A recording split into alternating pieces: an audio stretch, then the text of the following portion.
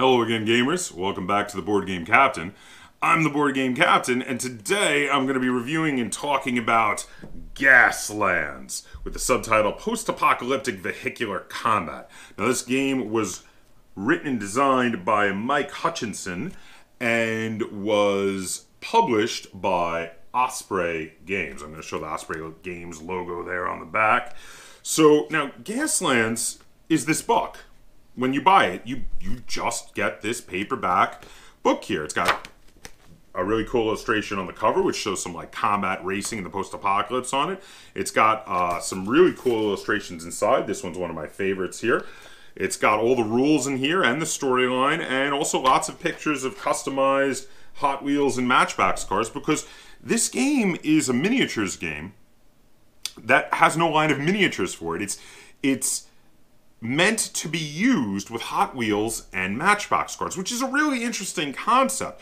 So you can buy Hot Wheels and Matchbox cars, and you can alter them to your heart's content to make your race teams with them, or you could just use them as is. There are plenty of, of Hot Wheels cars in particular that even have weapons on them and such, which can be used to great effect in this game to represent cars with guns mounted on them. So, because there's not a box to open, there's not a huge amount to talk about in regard to components we're just going to head over and we're going to run through the, the kind of things you can do in this game rather than run you through a few turns since the first few turns of a game of Gaslands are usually kind of uneventful. We're just going to actually run through exactly how to play and tell you some of the options and some of the things you can do when taking your turn how to move, how to attack, how to ram other vehicles, how to throw Molotov cocktails at them. And then we're going to come back and I'm going to talk about how this game feels. I'm going to review it and rate it, and we're going to get a second opinion from Lynn.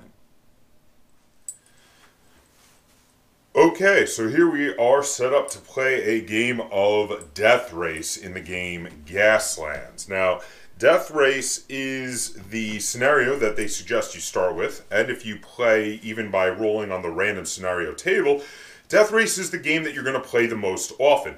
And in my opinion, Death Race is the, the game that is most interesting and makes this this games stand out the most. So this is the one we chose to show you when showing you how to play this game. So you have to set up your gates around the table for the race.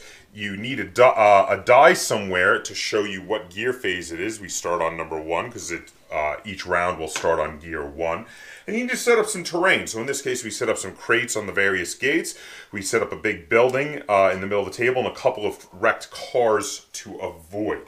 We then each also, of course, had to have made our own race lists, our own um, race team lists, if you will, by purchasing them out of the 50 can budget that they recommend you use in the book. So once we're set up, we're going to roll off using some regular six-sided dice to see who's going to get pole position. So we each are going to roll a die and see what we get. I got a two. Lynn got a five, so she's going to get pole position. We like to use this little coin we have sitting around here that says first on it, and I will give that to Lynn, and she's going to start setting us up in a moment at the starting line.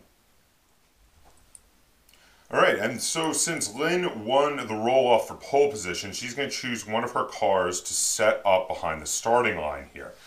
Now, the, the starting line can be as wide and can have as many lanes, if you will, as the number of players playing. And the, wheel, the front wheels have to be behind the starting line to set up.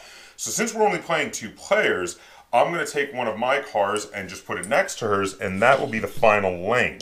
So I'm taking this car here and putting it there. Now it is her turn again, so she can start on the second lane. She can put it behind either car, it's wherever she wants to put it, and we keep going in this way placing our cars here behind the starting line until we have finished setting up all of the cars and then we're ready to go. Now, once you're ready to go, we get to start taking our turns. So for our turns, the first thing you do is you can spend audience votes if you want. Now, audience votes can be spent to do a lot of different things.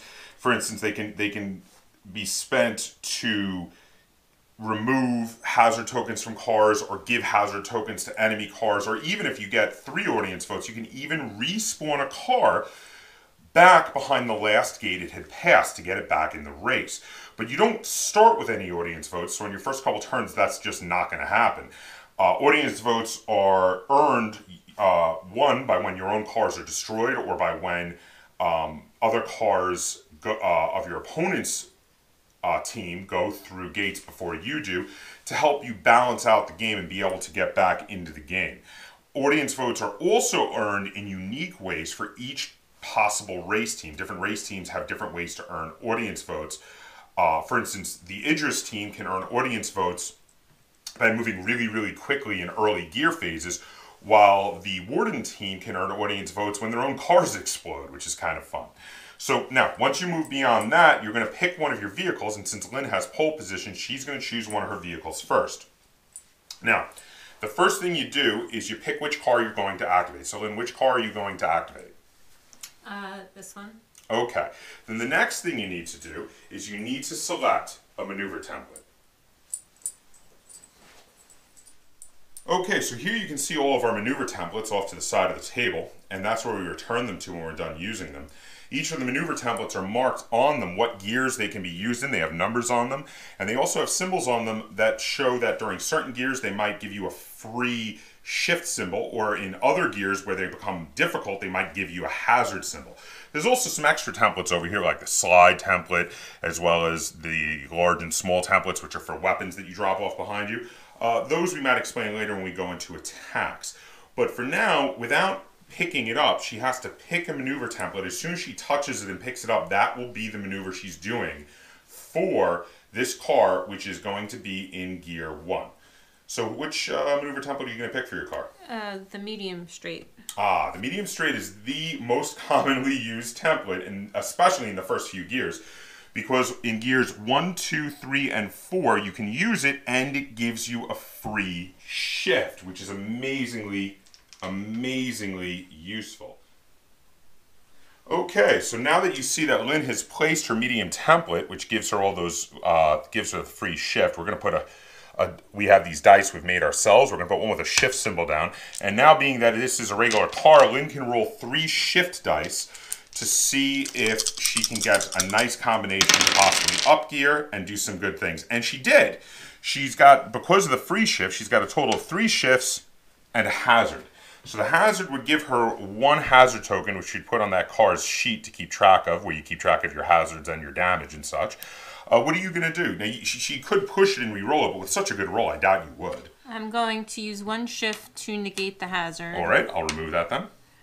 I'm going to shift up to the second gear mm-hmm. and then use the last shift to negate the hazard from shifting up. Very good. So you get now with the signs of the dice, you get uh, shift results can allow you to shift up or shift down, but shifting will give you a hazard. Hazard results automatically give you a hazard. Spin allows you to move up to 90 degrees after your move. So after you get to the end of here, you can turn up to 90 degrees, but it gives you a hazard. And skid means you have to use that slide template here, putting it where the notch is on your movement template, and you'll have to turn sideways at the end of it and get a hazard. So these are things that you, you want to get rid of, and you can cancel them out with shift results.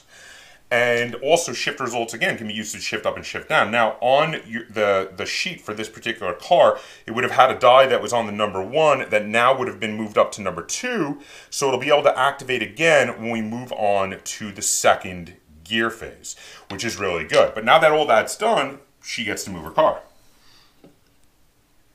And it is the first car, car to make it past the first gate.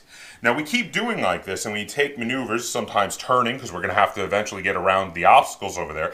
And once we pass the first, the first gate on the other side, we also get to activate our weapons. And then that adds in the attack step, which happens after the movement step, where you are able to attack other vehicles. Okay, so here we've jumped ahead and some of the cars made it up to the first gate. One car, one of Lynn's cars, has been the first to make it through the first gate, which means I got to get a free audience vote out of that. But now it's my turn to activate one of my cars. This car here, which at this point is in fifth gear and is, is, is pushing hard to try to get through the gate right behind that car. So I choose that car and I choose to activate it with the long straight, which can only be done in fifth or sixth gear and does not provide either free shifts or a hazard. So I'm going to place that down in front of that car. Then I'm going to roll for it. Now this is a performance car. It gets four dice to roll. So I'm going to take four of the custom dice and I'm going to roll for it.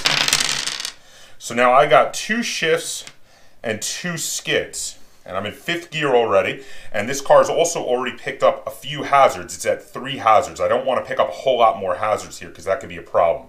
So I'm going to keep one of the skids though, because I like that.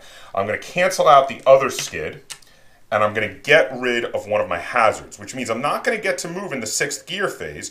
Every time all of the cars get to move, after they're done moving, we move up the gear phase die. It's currently in fifth gear, but there aren't too many cars that are actually in sixth gear. At this point, the only car in sixth gear um, is one car that's a little further back. So, so this car, uh, being a regular car, has a maximum of five gears. So there aren't too many cars in sixth gear. It's not that big a deal that I'm not able to shift all the way up to sixth gear. I'd rather make sure I don't wipe out. But I did get to keep that skid, which will give me an extra hazard token, even though I just lost one, and it will make me have to slide. So I take the slide template and I put it here, which means I'm going to be going the way I want to go towards the next gate. It also means that since I've gone through this gate, my weapons are now active. So now during the attack step, I can attempt to attack the other car here. Now when doing attacks, you have to check if you're in range and if you're in line of sight to hit somebody. So ranges are done short, medium, and double. So with the with the ranges, you check if, if you have a front arc weapon, like if you have a machine gun mounted on the front, the other vehicle would have to somewhere, as you slide it along the front of the car, touch the template. So a front mounted weapon would be able to hit him here. If it's a side mounted weapon, though, it would not, because I cannot get it far enough forward, as you see, to touch the other vehicle. Rear mounted, of course, would be right out. Anything that would be on a turret, if you have a turret mounted weapon, could swing around in any direction. You use the appropriate size templates to check range, and um, also, weapons that are thrown by the driver or passenger can also be 360, so things like Molotov cocktails and grenades would be able to hit the other car. So in the case of this vehicle here, this is a performance car which only has one crew member, and he is armed with Molotov cocktails, which, since they are thrown, have a 360 degree line of sight. They also use this medium template here. So as you see, I have range, and now I'm allowed to attack. So Molotov cocktail, I will roll one six-sided die for to see if I hit. And I rolled a five. Now a four or a five is a single hit. A six is two hits. So now once per activation, my opponent is allowed to roll a die to try to avoid. They need sixes to avoid the hits. So Linda's going to roll a die. And wow, she rolled a six. So I miss with the Molotov cocktail and do no damage. Now, if I had hit, if I had hit, I would have done a damage to her car, and she would be on fire, so she would continue to take damage until she could put out the fire. And that's one of the special rules of Molotov cocktails. And all the different weapons have all sorts of different interesting special rules that they can do. But in this case, she actually dodged the hit and did not take damage. Now, there is one sort of attack that you can do at any point during the game, even before you pass the first gate, to activate weapons, and that is a smash attack. In other words, ramming the other car. So here we have the same car that had passed the first gate, and the faster car, the, the performance car, has managed to pull a little bit in front, but maybe the slower car wants to sacrifice itself to take it out, so the other cars on its team want to get a chance to do something. So in the same way, this car would be chosen during this gear phase to activate. It, it, would pick the maneuver, and in this case, it's picking a maneuver swerve, which as you can see is going to bring it right into contact with the other car. So it's going to roll its, its dice. Now, in this case, it decides not to because it's already got a, a fair number of hazards. It's going to get some extra hazards from the collision. It doesn't really need to gear up. It just wants to smash into the other car. They're both going at five, uh, fifth gear. So it's, it's fine. So it's going to opt actually not to roll. Then what it's going to do is it's going to move along this path until it hits the other car, which is right about there. Now, the rule there's a rule in the game where whenever it's close and you're not sure if like you're hitting the rear or you're hitting the side, you always go with the one that would cause the most damage. And in this case, a T-bone would be a more damaging hit than a tailgate hit. The most damaging hit is a head-on collision.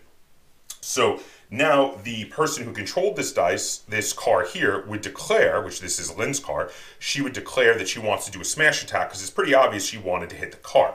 Now the other car can either do a smash attack back to try to do damage back to the car that hit it, or it could attempt to evade. And in the case of me, this is a performance car. They're very fast but not very tough. I'm going to choose to evade because I want to get the heck out of there.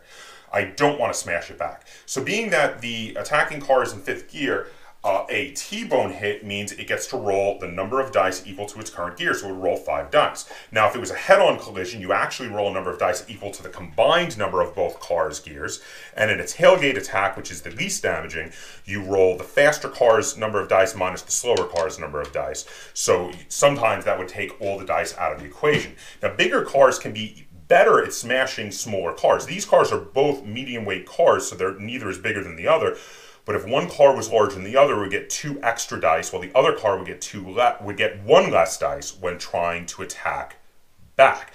But none of that applies to this particular one, uh, particular collision, because these dice are both medium uh, cars. These cars are both medium cars. So Lynn, you're going to roll your five dice. Here's some some dice for you. Let's see what you get. And the same the same rules apply. Fours and fives are hits. Sixes are two hits. Wow. Okay. So she got two fours, a six, and yeah. So that's four hits. That's that's huge. So four hits is really really good. Now I chose not to smash back, so I'm not going to do any damage to the scar. I chose to try to evade. So again, you get to do one evade during each activation. I hadn't used mine yet, so now I'm rolling for sixes to try to negate some of these hits. I got one six. I still take three hits. Now this car had already taken some damage before. And unfortunately, that was enough to total it. Now, in addition, both cars have to take two hazard tokens because there was a collision. If both cars had chose to avoid, no rolling would be necessary. There would just be no collision. This car would just stop, and then they would both take one hazard token for the for the near miss that just happened. Now, it, they did collide, and this car did get destroyed. And for being destroyed, what we have to do is we move the car d- directly forward a short distance as it spins out, flips over, and crashes. Then, what we, if it becomes a wreck, we turn it upside down to represent the fact that it is now an a obstacle and no longer a vehicle on the field. And we check to see if it explodes. You roll a die, and you, if you get a six, the car will explode, but you get plus one to your roll for every bit of ammunition for weapons that take ammunition, like Molotov cocktails, which this car had, to see if it explodes. Now, it had two Molotov cocktails left, which means on a four plus, it will explode. And I rolled a one, it does not explode. If it did explode, it would possibly do damage to the car that just rammed into it and killed it. But now, the next thing we have to see is the fact that this car was was desperately trying to keep from getting enough hazards to, to flip out and it didn't succeed. Maybe it got too many hazards. Maybe on the next move it got too many hazards, however it happened. But when this has too many hazards, then we're going to have to check to, uh, to see if it wipes out, which happens after the wipeout step. So to check for wiping out, if any car has six or more hazard tokens on its sheet, it's going to have to make a flip check. So the player will roll a die and has to roll equal to or greater than the car's current gear, which it's in fifth gear, which means Lynn needs to roll a five or a six to stop this car from flipping over.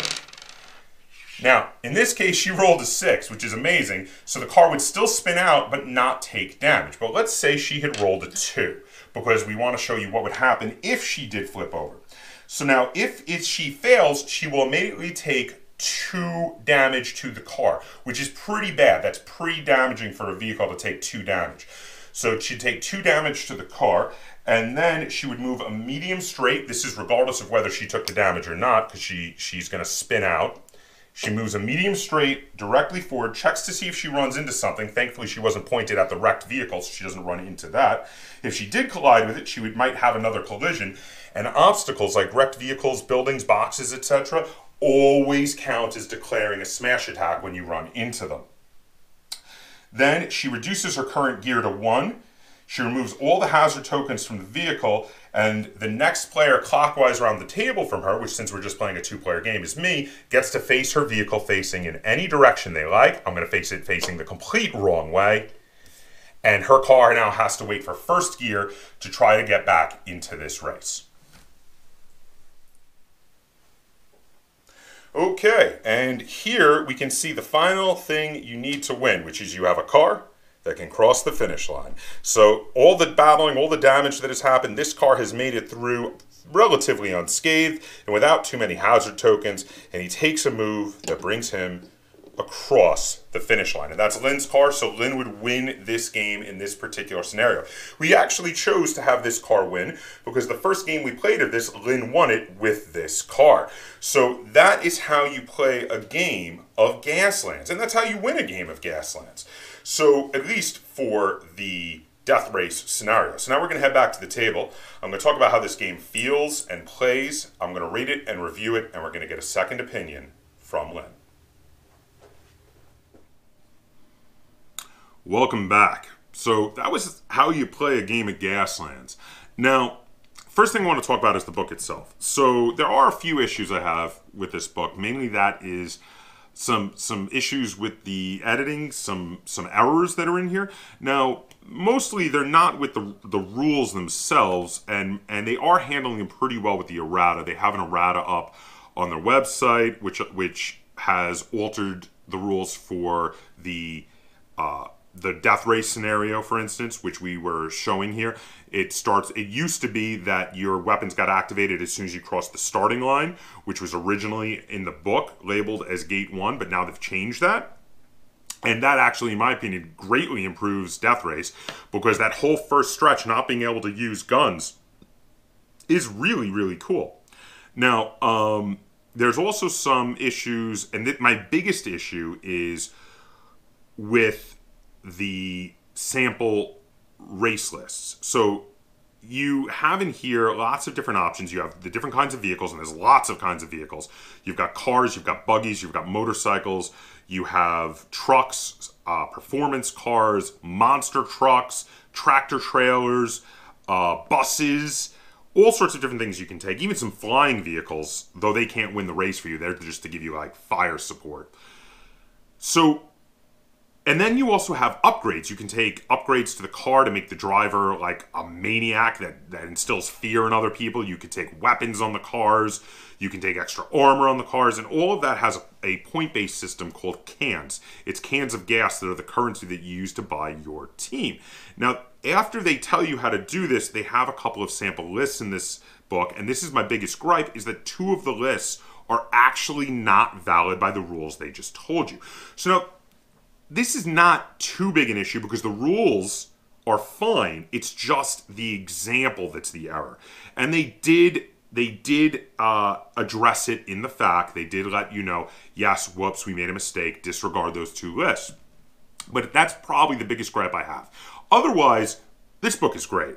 There are a lot of uh, great sections with storyline. The rules are simple and easy to understand uh, and fun and I mean, this is really for me. This is this is a very big like beer and pretzels kind of game. Now, with the movement templates, you might be saying to yourself, this reminds you of another game. And whether that other game is X Wing or Attack Wing or Wings of Glory or Sails of Glory or whatever it might be. Yeah, there's a bunch of other games out there, this new burgeoning family of games that really started with Wings of War, which later turned into Wings of Glory. I think was the first one that that did this maneuver template game. This is a very a dis, very interesting and different addition to that family of games. So you have a bunch of them that are dogfighting type games, which are the games like Wings of Glory, which is dogfighting either in World War One or World War Two using fighter planes.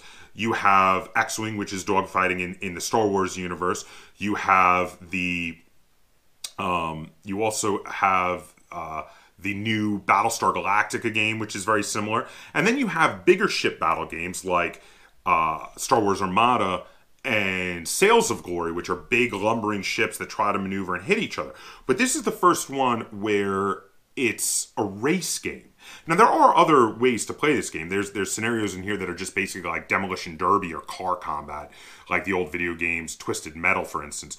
But the race game is really, in my opinion, what sets this game apart. Playing Death Race makes this game feel really different and sets it really apart from those other games. It's it's so far the only scenario I've been playing, we never roll random. We just keep playing the race game because we really like the race. It makes it feel different. It makes it feel fun. The other thing that sets this apart is that most of those other games are fairly expensive to collect and get into. Whereas in this, if you don't want to get into customizing vehicles, if you just want to find vehicles in the store that look like what you want them to represent and just buy them, which is what I've been doing, this is the most affordable entry point to any of these types of games I've ever found because I mean Hot Wheels and Matchbox cars are like a couple bucks each. They're very affordable.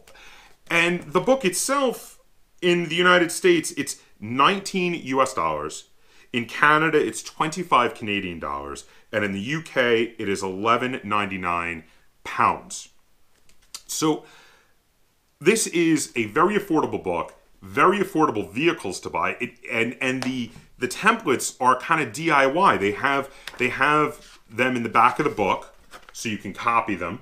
They also have in the back of the book the the, the race sheets for your particular uh, vehicles, so you can copy them. But they have them for free for download on the website, and you can print them out. And some other people have done ones with cool illustrations on them. The ones I had here, I found over on Board Game Geek, where someone had done some really cool illustrations and put them up on Board Game Geek. So go and check those out if you want to. Um, and yeah, there, there's tons of stuff to support this, and it's all very affordable from the, the DIY templates uh, to the fact that even though I, I, made my own custom skid dice, you can use regular six-sided dice, and there's there's a chart in here that tells you okay what each of the numbers means. Now I just bought some cheap blank dice and used permanent marker to put the hazard symbols and the skid symbols and the and the shift symbols and the and the and the spin symbols on them, and it works just fine. They also have some actual custom skid dice you can buy from them if you really want to shell out a few more bucks for it. But all in all, I think the the second thing other than the race scenario that really makes this game stand out is its affordability. This is a much lower price point than getting into something like X-Wing or Battlestar Galactica Starship Battles or um, Wings of War or Sails of Glory. Now I like a lot of those other games. Specifically, I'm a huge fan of Sails of Glory and I'm a huge fan of Star Wars Armada. But they're expensive. Star Wars Armada in particular is a very expensive game to get into and sometimes it gets really hard to find the right miniatures, whereas this is very forgiving in what sorts of miniatures you can use for this, because just any Hot Wheels cars are doable. In addition to providing a lot of support for this and constantly facking it to make sure that everything's balanced and good, they've provided some free downloadable expansions online with more types of vehicles to use and more types of scenarios. So, this is a really well supported game, very affordable, very fun and even though there's lots of damage you can do to each other, there's been times where we've played races where we've done nearly or even no attacks to each other because we've just focused in on the racing where we've both made race teams that were all about speed. And that's actually happened, and it's still amazingly fun because you're still trying to outmaneuver each other, and even with almost no attacks, you're still going to wind up ramming each other once in a while. It's going to happen. This is a really fun game. I think it it has earned an its own spot in this family of maneuver template miniature games, a spot that is very different and distinct from the other maneuver template miniature games that are out there. And in case you couldn't tell, I do really like this game. I'm giving Gaslands 8 out of 10 stars. I'm really enjoying it. I love the race scenario. I love I love rummaging through Hot Wheels cars at the supermarket now to find cars that, that look like they have weapons that I don't already have. Um, I've been searching for certain cars that I see online. And yeah, I've been really liking this. And Lynn's been playing it a lot with me too, which is a bit of a surprise because she's not normally into miniature games. So that being said, let's check in with Lynn. Lynn, how many stars out of 10 would you give to Gaslands? Seven. So seven is a very positive score. That means she likes this game a lot and will play it anytime someone asks. And that's really surprising considering that it is a miniature style game. But she told me that it's it's really because it's not just about fighting each other. It's not just about and and she's not at all interested in playing the demolition derby scenario or or you know like the car combat scenarios. She likes the race scenarios because racing each other and trying to be the first one through the finish line is what really it, it's what does it for her. It's what makes it really interesting. And you know what? It's what does it for me too. So there you go. Both of us highly recommend that if you have a few bucks and you like um if you like miniature games but are looking for something different And if you were a kid and used to like to play with Hot Wheels cars, I mean, check this out. This is a really, really brilliantly done product. I thoroughly enjoy it. I can't sing its praises enough. Eight stars from me, seven stars from Lynn. Overall, for its for its price tag, this is this is like you gotta you gotta add this to your collection. I'm just saying. All right, there you have it. If you have any questions, comments, or concerns either on the game of Gaslands or this video, feel free to put them in the comments down below. And if you enjoyed this review and tutorial and you'd like to see us do more like it, be sure to give it a like, share it on all forms of social media, and if you haven't already, please subscribe to the Board Game Kaptain. That's Captain spelled with a K on YouTube. And until next time, game on.